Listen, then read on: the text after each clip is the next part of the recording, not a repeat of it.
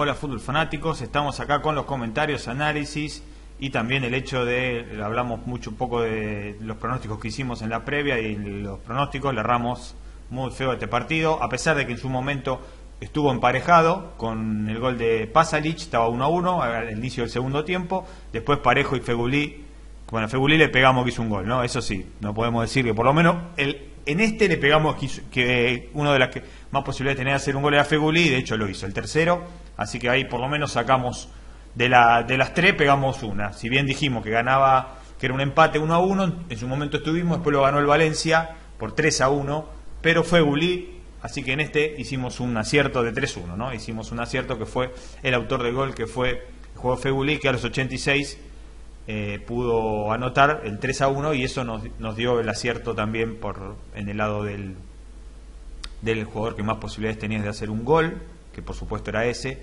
El Valencia de España fue con Rian, eh, Barragán, Mustafi, Beso, Gaya, Parejo Pérez, autor del gol Parejo Pérez, De Paul, el argentino, el ex eh, Racing Club, Fegulí, el autor del gol, que es el que acertamos, Alcácer y Rodrigo.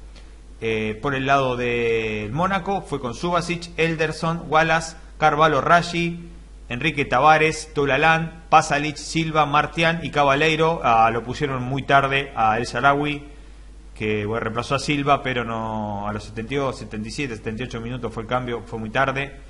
Eh, después también entró Baulí por Pasalic, el autor del gol, y en el, en el eh, Cabaleiro por Dinar, y en el equipo ganador fue Piatti por De Paul, argentino por argentino, salió Enzo Pérez y entró Negredo.